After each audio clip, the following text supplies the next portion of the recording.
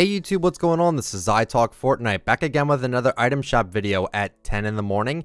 It's February 5th, 2020. Hopefully you guys are doing well. New update went out today. It's pretty underwhelming, but I'm excited to talk about all the skin leaks and everything like that today after the shop. Wow. Wow, there's a lot here. Okay, so we got the new Clash skin. All right. This is really cool. This, this is a really cool one. It looks like Calamity, but like not a cowboy, I guess you could say. But uh looks really good. You know, we're buying it. All right, all right, all right. The Metal Masq Bundle. We have the Zadie. Oh my god. We have the Zadie skin with three edit styles. We have the Metal Mouth. Wow. With three edit styles. These are so cool. Oh, that looks so cool. And the wait, and the harvesting tool spiked mace, which I don't know if it's gonna let me uh, swing it. Oh my god, these sound heavy. And they both come with their own challenges. That's kind of insane. Well, you know we're buying it.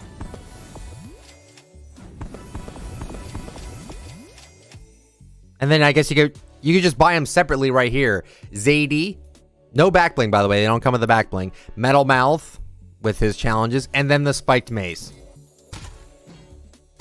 Really cool that they did that. Sparkplug is back with the back bling Scrappy. We see this all the time. Recon Ranger is back. The new contender back bling. This goes with this goes with the uh the skin we just had. The uh the first one. Already forgot our name. Feels bad. Uh Clash. It goes with Clash. The fixation harvesting tool. Okay. Drop the Bass emote.